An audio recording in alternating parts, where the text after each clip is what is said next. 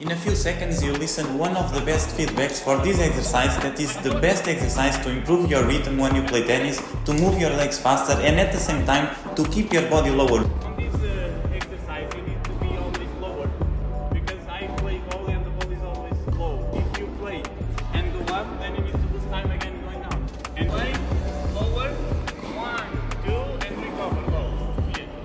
As you can see here, this is an amazing exercise. You can keep your intensity all the time. As a coach, it's also one of the exercises I like to do almost every lesson. And as a player, it's great not only for the rhythm but to get confidence and to be more aggressive on your game. It's really amazing and I really recommend.